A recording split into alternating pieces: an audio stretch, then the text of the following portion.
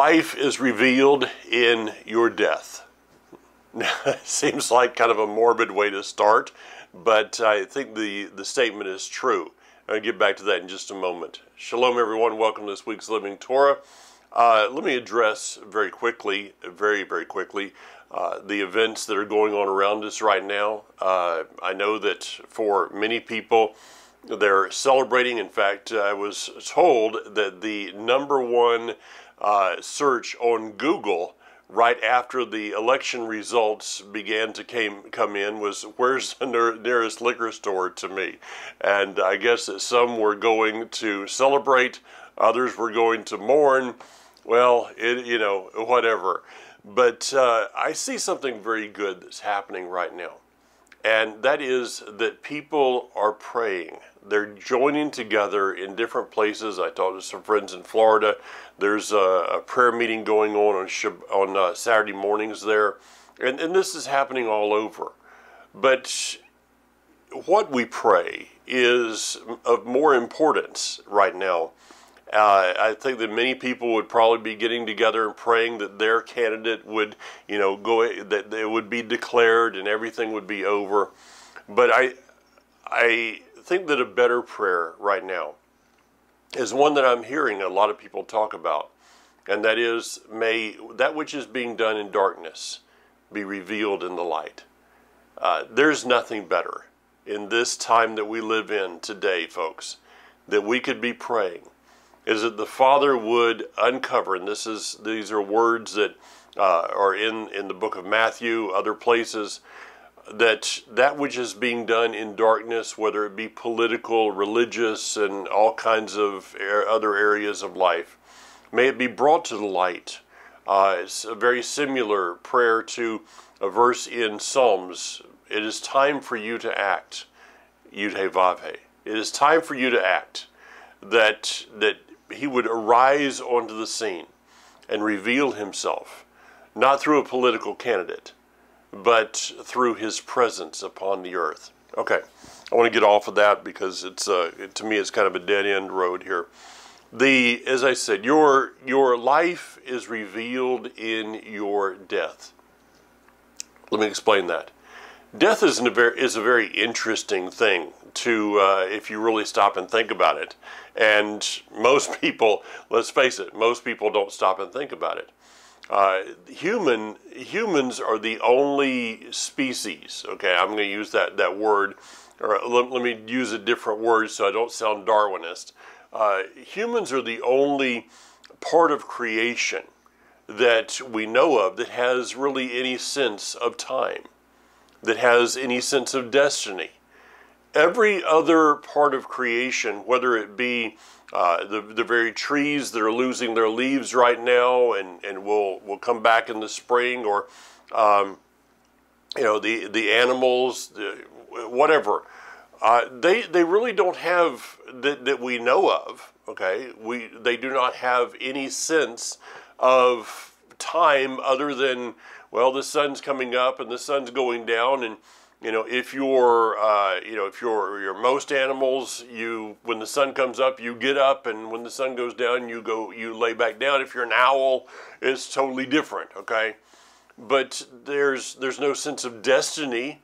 There's no sense of that there's something more than just the day by day things of life, and this is where humankind becomes separated from the rest of creation.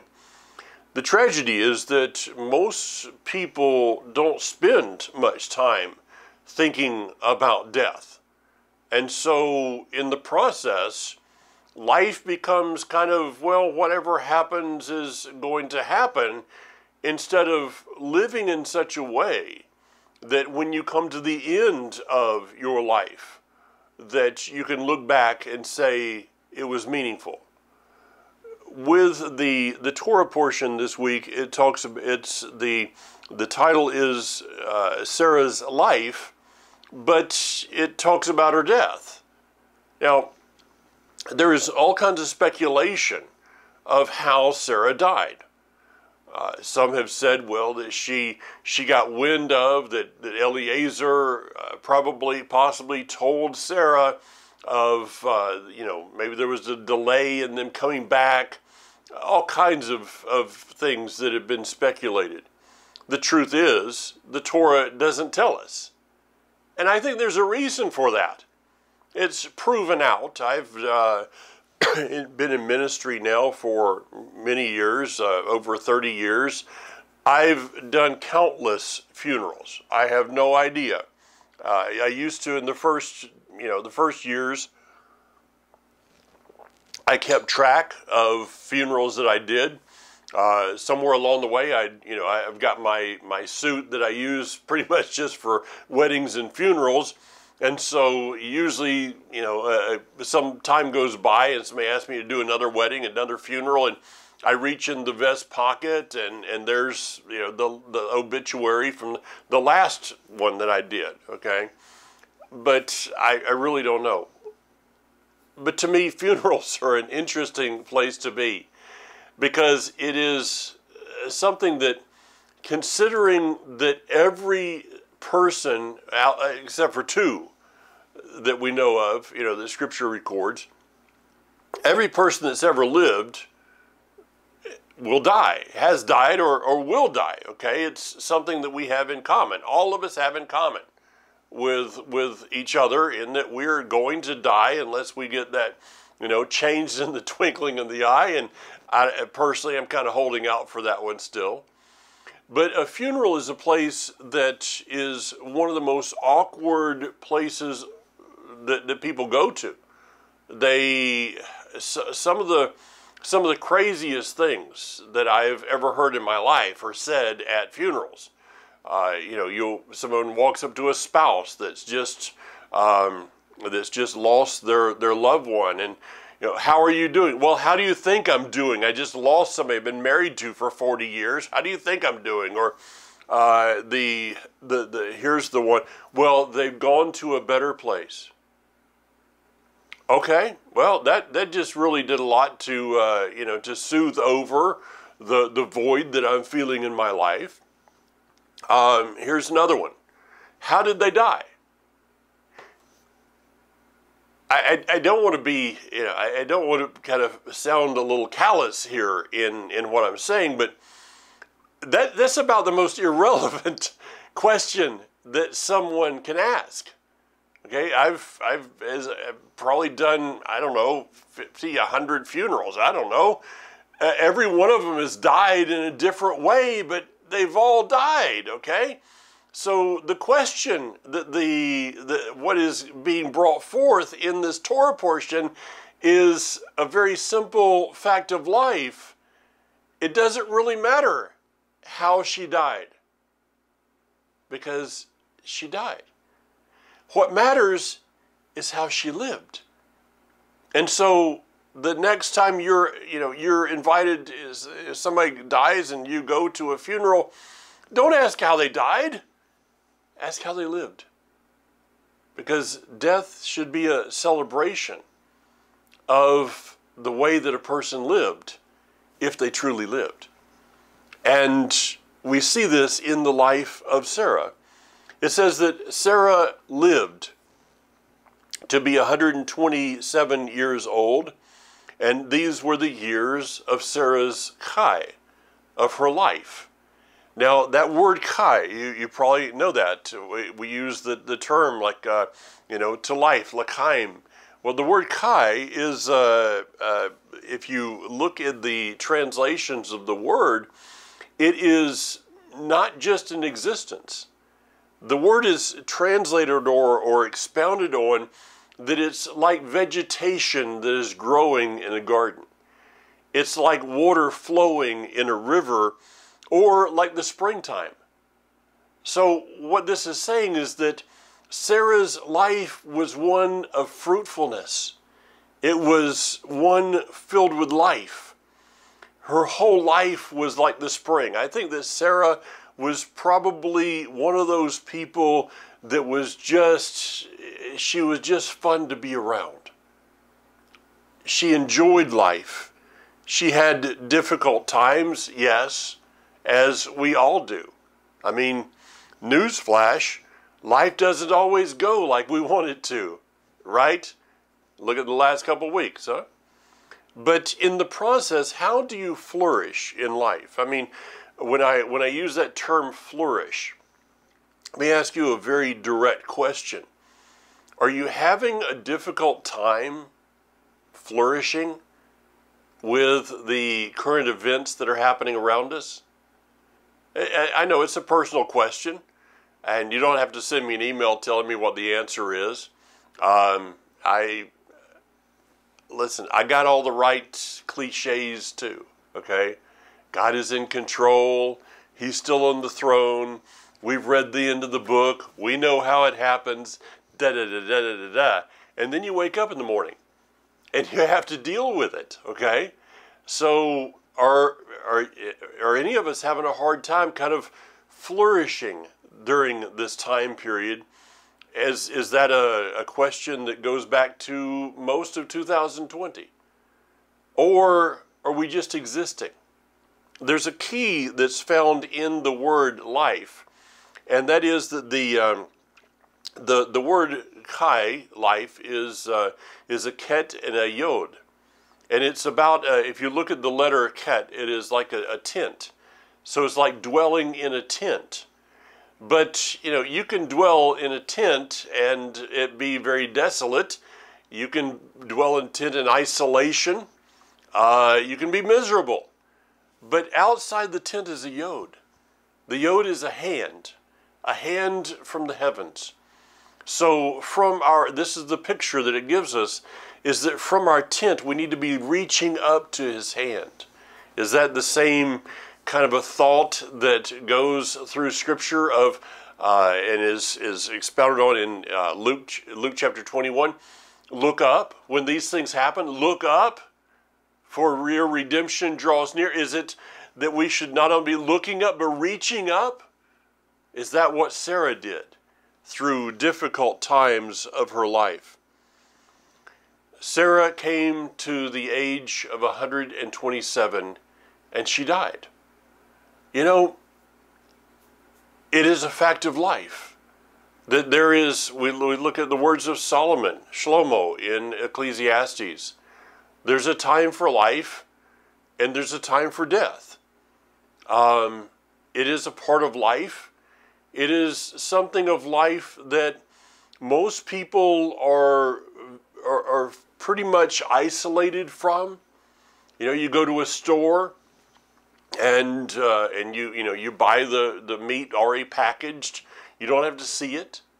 Uh, Hanok, I was talking to Hanok the other day, and he says the first time he saw an animal of, of any kind being slaughtered was when he went to the Samaritan village one Passover. They have a different calendar, of course, and uh, it was there that he saw this slaughter. he said, you know, wanting to eat meat for a little while because up until that point he thought that it just came in the styrofoam thing with the plastic wrapping. Well, the truth is that's how most people go through life. Uh, we did something that many people have done in the last few months. We got chickens again. I looked out my window and they're out there at my deer feeder uh, eating corn. Well, you know, the thing is we got 12 chickens when we when we started and now we have 10 uh, we've got a hawk somewhere in the area, and I there's no way to. It's just it's a fact of life. I mean, it, it'd be great to to figure out how to tell this hawk, don't come here, but the hawk has to live too, and the hawk lives by the death of something else. Okay, so with that, I just give you kind of expounding there to in the midst of where we are in the in the world are we are we considering are, we are we flourishing with life or just existing waiting to die there's there's a lot of people that are like that uh, my wife Kathy does the the Meals on Wheels uh, you know another government program but there's a lot of people out there that they can't get out, they can't drive right now. They're you know they're scared and all this kind of stuff. And she comes home and she tells me the stories of, of all these different people and and uh, so many of them. They're just existing. waiting to die. If you're drawing breath today, there's a reason.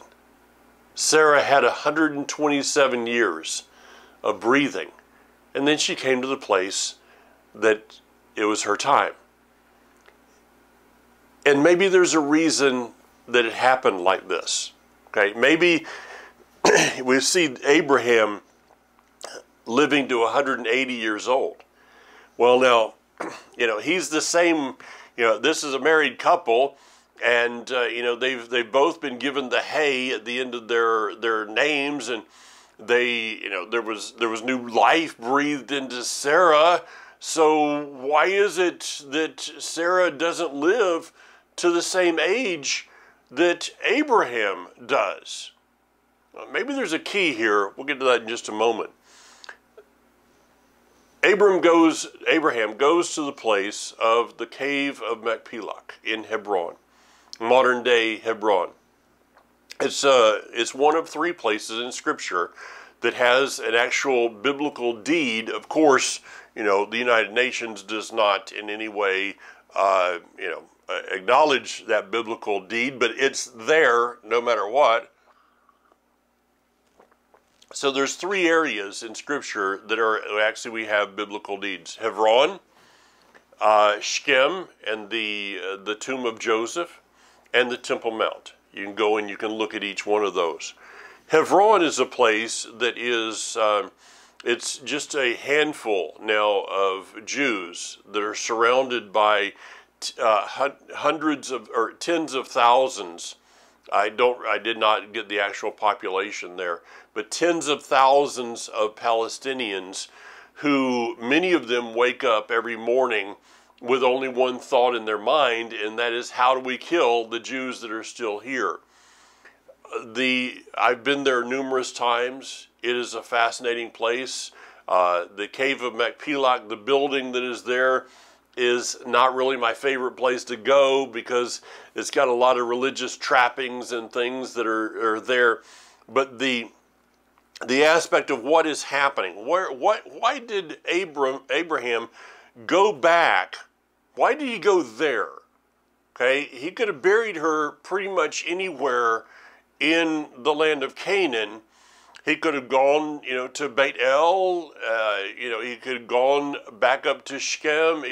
Various places he could have gone, but he went specifically to the cave of Machpelah, and he he asked to buy the cave and the field. It is taught, uh, you know, I, we cannot we cannot prove this, but I I believe it to be pretty plausible that this is the place that was and may even still be the entrance to the Garden of Eden. Okay, some kind of a city that today is buried underground. Uh, yeah, I mean, some of the movies, think about the movies that have come out. Uh, is are these movies based upon something that actually could be true? Well, I guess that time will tell on that one. But he, it is said that this is where Adam and Eve were buried. And so we see the patriarchs and the matriarchs uh, that are buried here at the cave of Machpelah. It is about returning to your roots. I mean, people do this all the time. Um, you know, you, you can be, uh, somebody moves, you know, they grow up somewhere and there's a, a family cemetery or somewhere that your, uh, that your relatives, your maybe parents are buried and you move off wherever, but then you say somewhere at the end, you know, I want to be buried in that cemetery. Okay, why? It's about returning, it's, it's about connecting to where you came from. So Abraham is connecting to where he came from, and that is to be buried in the same place that possibly Adam and Eve were buried. So you guys, you, you know the, the negotiations that went on about that. I'm going to move on from there. But here's, here's the, the point that I want to make. And that is, why is it that Sarah would die, uh, what is it, you know, uh, 53 years prior to Abraham dying. In fact, in that day, living to 127, you, you know, you weren't really up there at, at dying age. I mean, that was pretty much dying a little young in that day. Is it maybe the, the key is found in chapter 24, where Abraham is old. He says he's old, but he's still got so, some, you know, some time left here. And Adonai had blessed Abraham in everything he did. And he said to his servant who served him the longest, who was in charge of all he owned, it's believed that's Eliezer. It is not mentioned by name, it is assumed. He tells him to, to make an oath and to go back to the land of, of, uh, of his ancestry to his father's house and to get a bride for Isaac. Here's the point Was Abraham not, okay, when he takes Isaac to the mountain, Isaac is probably somewhere around 30 years old. Now, even today, to be 30 years old and not be married is kind of unusual. You know, most people, somewhere in their 20s, some a little bit younger, start thinking about this and, you know, we'll, we'll find someone, get married, and sometimes live happily ever after, other times not. But he's 30 years old. Now, in that day, it was not like it is today that the, the, the father would go out and find a bride for the son, and it was arranged marriages. So was, was Abraham kind of slacking in his responsibility to carry on the genealogy and the covenant and the promise? Was he enjoying his time with Isaac and like, okay, well, we'll get around to that one of these days? And so when Sarah dies, it's a wake up call to Abraham that I need to get more involved in this. I need to, here we go, I need to be more involved in the establishment of the covenant. I, I, taught the, the message that is available uh, through our website this month for those of you that, uh, that help support us. Thank you so much. I appreciate that. The word there in, uh, in, in Greek, we look over in uh, the book of Matthew, he who endures to the end will be redeemed. Well, if we take that word and we trace it back into Hebrew, there's a couple of different words that are associated with the word endure. One of those is the same word that is spoken to Noah when he is told, I will, I am doing this, I'm going to establish my covenant with you. I believe the word is kom. I will establish my covenant with you, Noah. You're, you're going to be significant in my covenant going forth into other generations. It's possible, it's the same word over there in Matthew 24 that those who are actively involved in the establishing of the covenant from generation to generation shall be redeemed. Interesting one to think about. So it could have been a wake up call and he sends his servant to his father's house doesn't want this kid getting married to those that are around at least stay you know somewhere in the bloodline here and instead of this pagan uh, stuff that's around him so he sends him and we see this infamous meeting at the well which is kind of a theme of scripture is it not how many abraham Abram at the time and Sarah, they met at a well. They were they grew up in the same place. They grew up in the same family. They were playing at a well when they were little children. And, and consider this: that when did they get married? Let's say that you know maybe they got married when, you know, Sarah's like, you know, 20 years old, okay? So they celebrated their 107th wedding anniversary. Oy vey. I mean, that's that's a lot of anniversary. What do you do for your 100th wedding anniversary? Okay, where do you, what trip do you take on that one, all right? Uh, another subject. So I, I doubt that any of us will have to deal with that. So here we see that uh, another barren woman at a well. She, uh, the, the servant Eliezer possibly doesn't know that she's barren, but they'll find out later. And this will go on through to other generations, even to the woman at, uh, the Samaritan woman. When in John chapter 4, a barren woman that meets Messiah Isaac is a type and shadow of Messiah. Uh, the servant is a type and shadow of the Ruach HaKodesh. I mean, the, the pictures are right here in front of us for, I mean, it just doesn't take much of a stretch of my imagination to see that there is something being painted that is a very real uh, picture of the Messiah to be revealed. Okay? Now, it is through that place, I want to spend some time here. It is through the meeting at the well that we enter in another individual. All right. And this is in chapter 24, verse 29. Rivka had a brother named Laban. All right, here we go. Mr. Laban. Well, we get an insight into this guy's life and who this person is by the next words after his name. And then I'll get to his name for a few moments.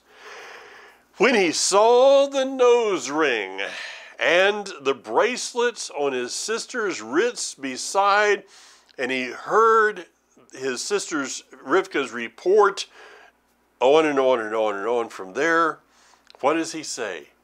Come on in. Hey, I see ka-ching, ka-ching. I see dollars to be made, and I am going to see what I can do to get a few of those out of your pocket and into mine.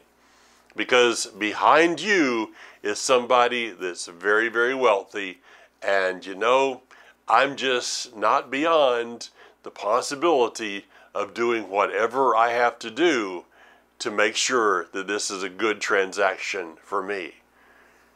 He would have made a very good presidential candidate, wouldn't he? Okay, I did. I did, did I really say that? Yes, I did. Okay, um, the name Laban, I just threw that one out. The name Laban, it means white. Okay, so when the servant sees uh, and is introduced, hi, you know, I'm I'm Abram's servant. I'm in charge of everything. Hi, my name is Purity. my name is Set Apart. My name is Holiness. My name is You Can Trust Me with Everything You Got. And then let's look at the Hebrew there a little bit. It's, it's a, uh, a lamed, a bait, and a final noon. So we have a the lamed is a, a shepherd's staff. It's the the letter uh, that is associated with Melech, uh, the letter of the king. Okay, then the the bait is a house, and then the noon, a final noon. It's about sprouting life, life sprouting forward. So I mean everything. This this guy is this is the real deal. This guy is exactly what you know where I need to be and I can trust him with everything. This is amazing. Uh, and then we see who Laban really is in the end. If this is a an end times prophecy being portrayed here, uh, not only about you know the the the about Isaac, about Messiah uh, coming, but the return to bring forth a bride in these last days, then should we also figure that there's going to be times that we see some Levans, Lavans, and that in this day we need to make sure that we are discerning what is truth from what looks like truth. Matthew chapter 24. Go back and read it. And it it says when you see all these things, you know, read read the chapter on your own. What's the first thing that Messiah says to these disciples concerning the last days? It is he does not tell them about stocking up on beans, bullets, band-aids and Bibles. Not necessarily in that order. And nothing wrong with that. Okay?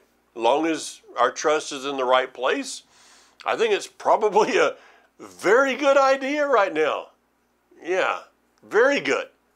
For those of you that have uh, have have been have kind of gotten into this electronic rut, that everything that you do uh, regarding the scripture is on your computer, your phone, your pad, um, you know, whatever it is, it might just be a good time to go back and get associated with the hard copy. Just say it. Maybe a good time to stock up on a few things. In fact, if you haven't started to do that already, I would have to ask you, why didn't you? I mean, you know, look at what's been happening for the last years, okay? Um, but it says the number one thing don't let anybody deceive you. Because there will be Lavans. Those who have, have come to merchandise. Merchandise political systems? Well, that, that, I mean, could that ever be, could, could that ever be happening today you know, around us? Oh, no, never. Yeah, everywhere you look. Merchandising religious systems? Yeah. I, I follow occasionally some of the YouTube stuff. Uh, you know, sometimes it's kind of fun to watch as the dreams and visions. And, and by the way, let me uh, let me let me preface uh, something there. I'm I'm not talking about Dana Coverstone. I know a lot of people have been following the dreams that he had. Um, you know, we're yet to see where that really goes. This is not a statement against him specifically, but there, there's a lot of people that are, you know, have these. You know, I had the latest, greatest dream, and the latest, greatest vision, and God spoke to me last night. In fact, He, you know, I, did like a little trip, like Mohammed, you know, to the heavens, and oh, uh, wait a minute, maybe not Mohammed, maybe it was.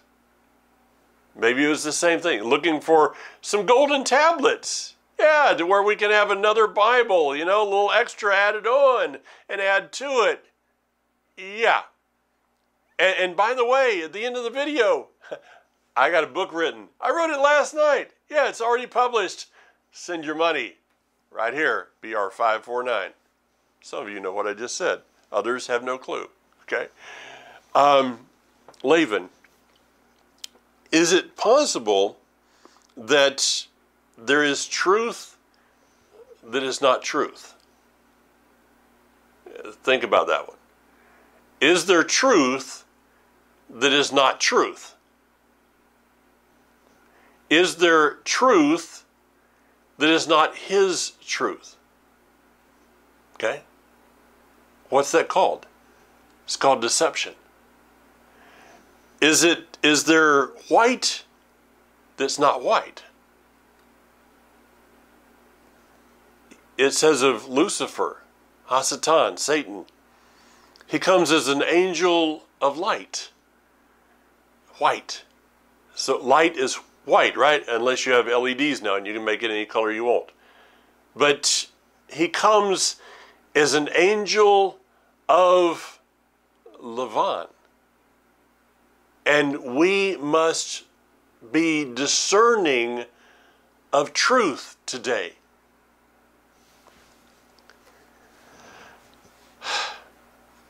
I listened to probably like most of us, you know. I mean, I, I don't, I try not to be totally engulfed in it these days, but I listen to, to, to talk radio. And there's a couple of people that I, I, I like, that I, I, I listen to. There's one that, and I, you guys, some of you know, I've talked about him numerous times here. There's one person I listen to that I really listen to him not for, not to find truth from him, but just to see what he's saying. Because I personally believe that this person has some, some connections in some realms that may not be exactly as truthful as is portrayed. Um, Glenn Beck. Now, I, I, know that some of you are probably going to get mad at me for what I'm about to say, but that's okay. All right.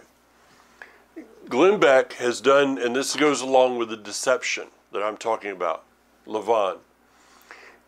Glenn Beck has single handedly made Mormonism just another form of Christianity in many people's minds. Um, he is has been he has stood next to very famous rabbis. He's stood uh, next to many famous uh, messianic leaders or, or so-called leaders. He has stood next to many Christian pastors.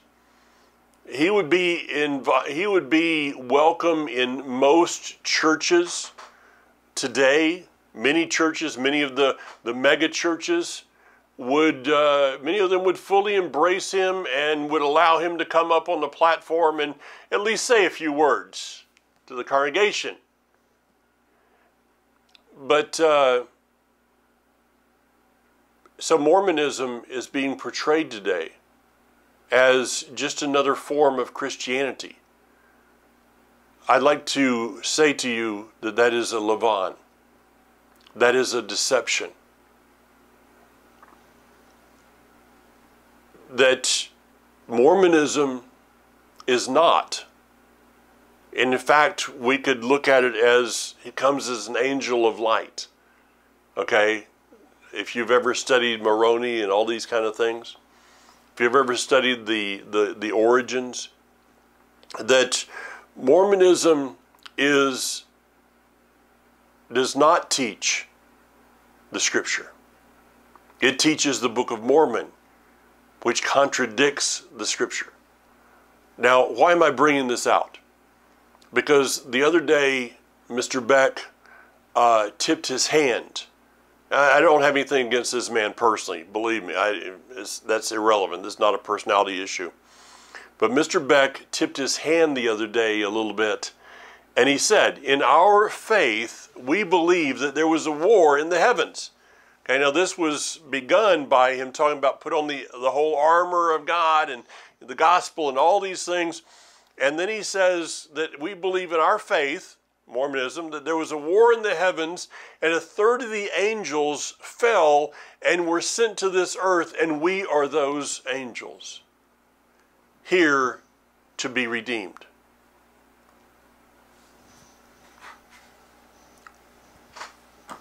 Is, is that, does, does that line up with this book? I believe not.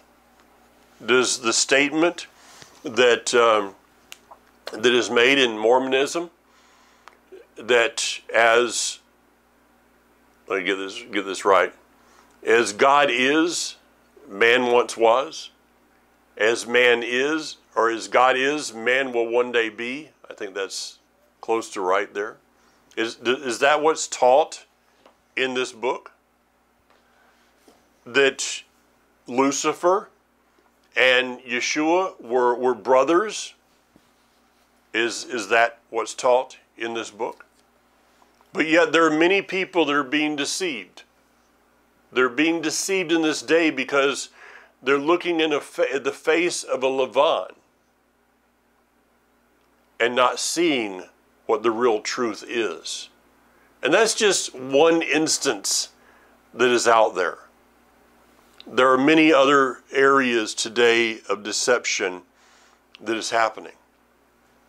One of those is over in Matthew chapter or Matthew Genesis 25 in verse 5 Abraham gave everything he owned to Isaac.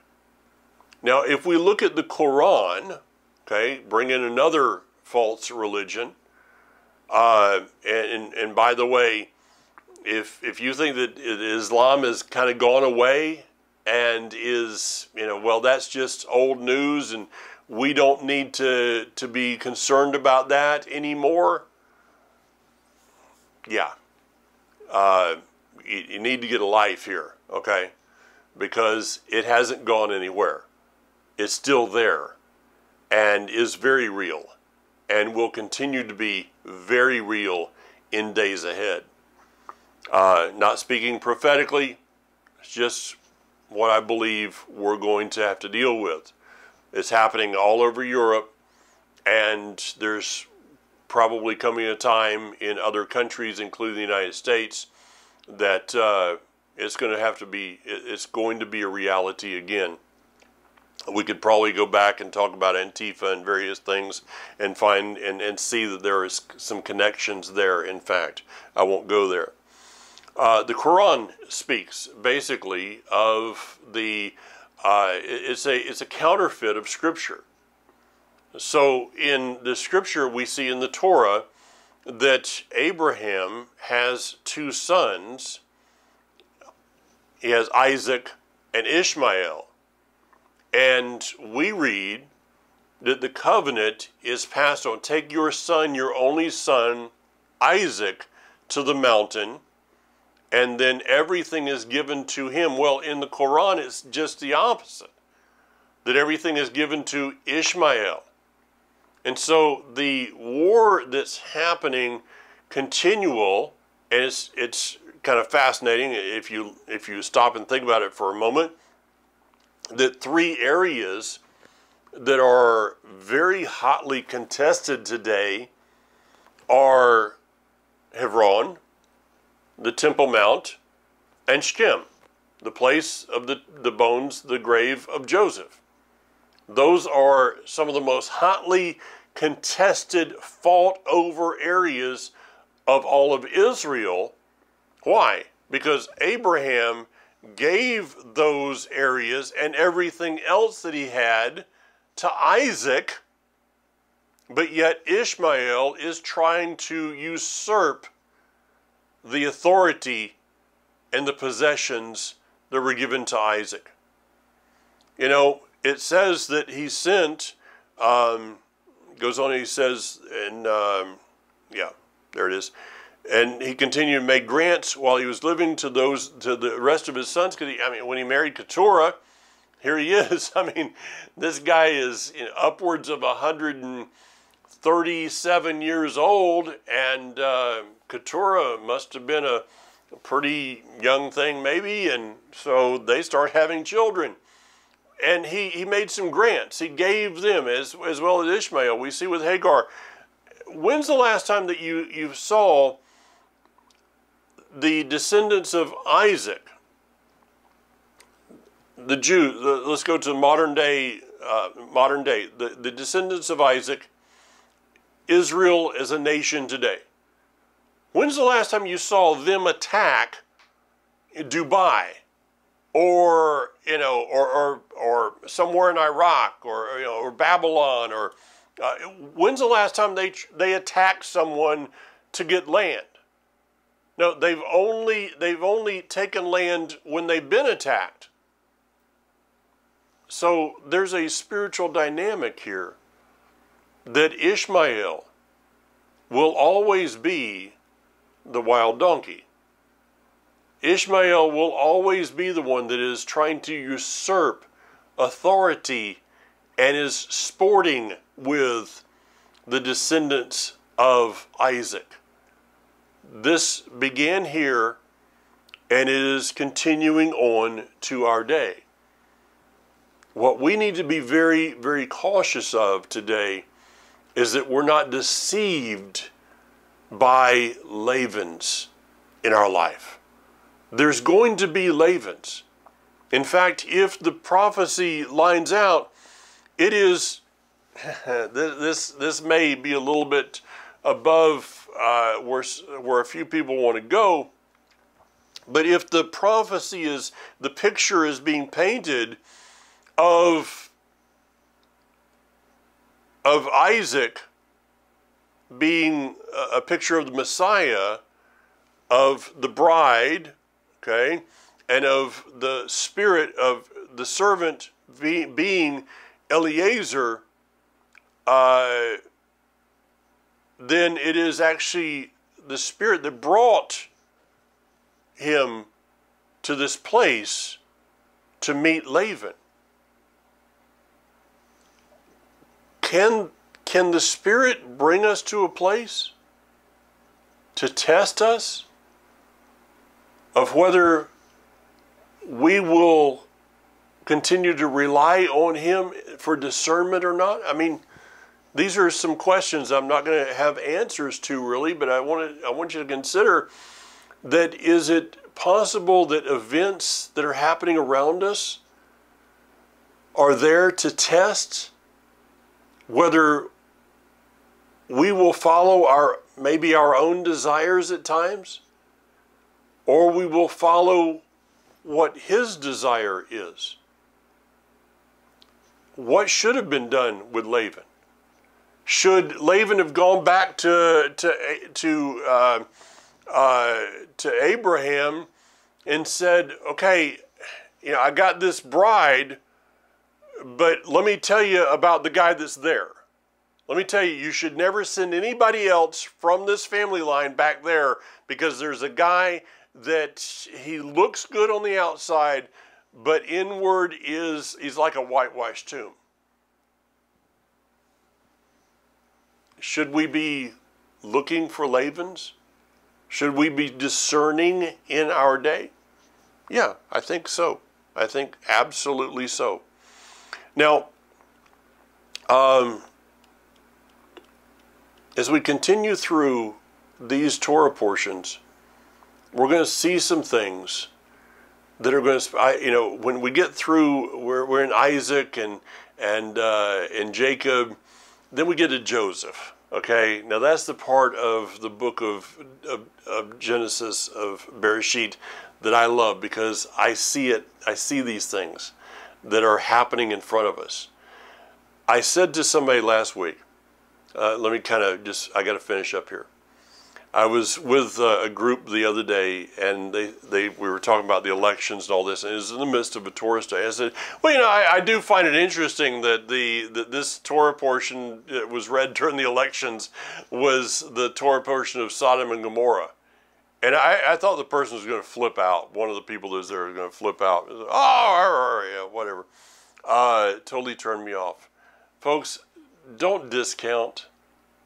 Don't discount that the one who declared the end out of the beginning lined up the Torah portions with world events? Or did he line up world events with Torah portions? Or is the answer yes? And that what we're reading on a weekly basis is what's happening in the spiritual realm around us. We'll see. Shavua Tov. Have a blessed, prosperous week. Bezrat Hashem, God willing. Uh, see you again next week. And until then, as always, especially in these days, be strong, be engaged, and don't just exist.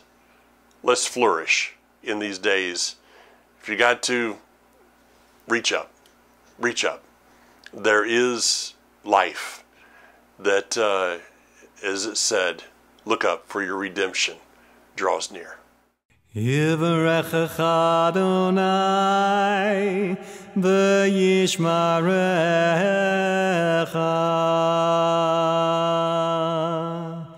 Ya'er Adonai panav elecha v'yichunecha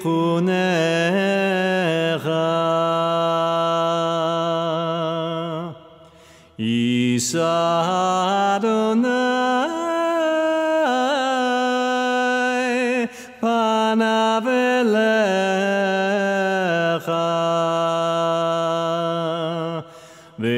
v'yasem lecha. Shalom